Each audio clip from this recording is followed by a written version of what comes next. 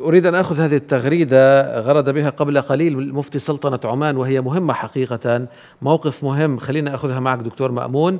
هي على الهواء الآن يقول آه، شيخ الدكتور أحمد بن حمد الخليلي فوجئنا مفاجأة لم تخطر منا على البال بقرار فتح المجال الجوي بما يمكن طيران الكيان الصهيوني من استعماله وكنا نرجو أن يستمر الموقف الصامد الرافض لأي علاقة بذلك الكيان مع من سلطنتنا الأبية كم كنا نعتز بذلك ونخشى أن تلي هذه الخطوة خطوات أخرى.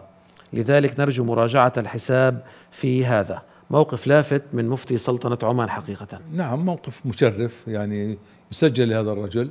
هذا المواقف وهي مواقف سابقة في كثير من القضايا الفلسطينية. وهذا يعني يطرف له القبعات يعني هذا ممكن يحاسب على هذا الموقف الشيخ أحمد؟ ربما يعني يعني مسألة النظام العماني مسألة معقدة. هو نظام ليس سهلا أن تحسم فيه الأمور يعني.